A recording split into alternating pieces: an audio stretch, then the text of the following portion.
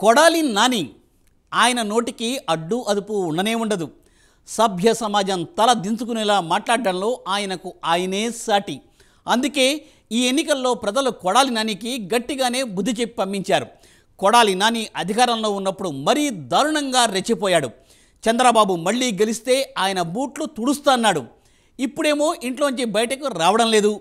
కోతలరాయుడు ఇంట్లో నుంచి బయటకు రావాలి అంటూ టీడీపీ శ్రేణులు కొడాలిపై రెచ్చిపోతున్నాయి ఇప్పుడు. మరి ఇప్పటికైనా కొడాలి నాని తీరులో మార్పు వస్తుందంటారా?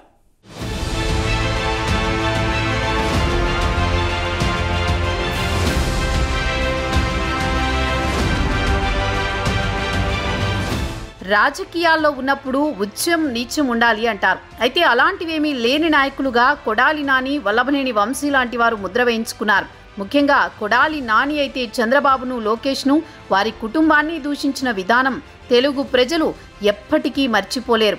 నోటికి ఏదొస్తే అది అడ్డగోలుగా మాట్లాడుతూ తాను ఒక ప్రజాప్రతినిధిని అన్న సంగతి కూడా మర్చిపోయి కొడాలి నాని ఎంతలా స్వైర విహారం చేశారో ప్రత్యేకించి చెప్పనక్కర్లేదు.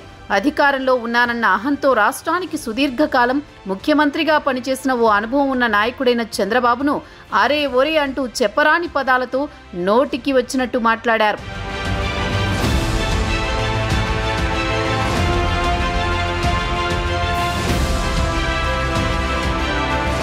కొడాలి నానిపై తెలుగుదేశం శ్రేణులంతా కసితో రగిలిపోతున్నారు. రాజకీయంగా కొడాలికి జన్మనిచ్చిన తెలుగుదేశం పార్టీపై ఇంతలా అవాకులు చెవాకులు పేలడం తండ్రి లాంటి చంద్రబాబును అరే ఒరే అంటూ నోటికి వచ్చినట్లు మాట్లాడడంపై టీడీపీ శ్రేణులు కొడాలి నానిపై ఆగ్రహంతో ఉన్నారు. అయితే గతంలో అధికారంలో ఉన్నప్పుడు కొడాలి నాని చాలా సవాళ్ళు చేశారు. కుప్పంలో చంద్రబాబు మళ్ళీ గెలిస్తే తాను రాజకీయ సన్యాసం తీసుకుంటానని చంద్రబాబు బూట్లు తుడుస్తానని చంద్రబాబు కాళ్ళ దగ్గర పడి ఉంటానని శపథం చేశారు. అయితే ఎన్నికల్లో కుప్పంలో చంద్రబాబు అతి భారీ మెజారిటీతో గెలుపొందారు. కొడాలి నాని నోటి దురుసుకు సరైన గుణపాఠం అన్నట్లుగా గుడివాడలో చిత్తు చిత్తుగా ఓడించారు ప్రజలు. అయితే ఇప్పటికే కొడాలి నానిపై తెలుగుదేశం శ్రేణులు అటాక్ చేసేందుకు ప్రయత్నించిన విషయం తెలిసిందే. ఇంకోవైపు సోషల్ మీడియాలో కూడా కొడాలి నాని నువ్వు చేసిన సవాల్ నిలబెట్టుకుంటావా అంటూ విస్తృతంగా ట్రోల్ చేస్తున్నారు. చంద్రబాబు బూట్లు ఎప్పుడు తుడుస్తున్నావు? చంద్రబాబు కాళ్ళ దగ్గర ఎప్పుడు కూర్చుంటావు? అంటూ విమర్శలు చేస్తున్నారు. మొత్తంగా చూస్తే కొడాలి నానికి గడ్డుకాలం స్టార్ట్ అయినట్లే అంటున్నారు రాజకీయ విశ్లేషకులు. ఇంకోవైపు కొడాలి నాని అరాచకాలు మొత్తాన్ని ఒక్కొక్కటిగా బయటకు తీస్తోంది కొత్త ప్రభుత్వం. అధికారంలో ఉన్నప్పుడు నోటికొచ్చినట్టు ఏది పడితే అది మాట్లాడిన ఫలితం ఇప్పుడు కొడాలి నాని ప్రజల నుంచి వ్యతిరేకత ప్రతిఘటన రూపంలో ఎదుర్కొంటున్నారు. అప్పుడు మాట్లాడిన మాటలకు ఇప్పుడు మూల్యం చెల్లించుకోవాల్సిన పరిస్థితి వచ్చింది. ఏమైనా?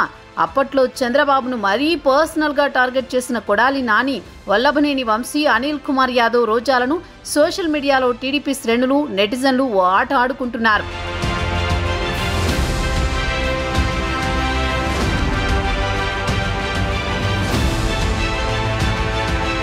ఈ ఎన్నికల్లో ఓడిన కొడాలి నాని గతంలో చంద్రబాబు గురించి చేసిన వ్యాఖ్యలపైన టీడీపీ శ్రేణులు ఆగ్రహంతో ఉన్నారు.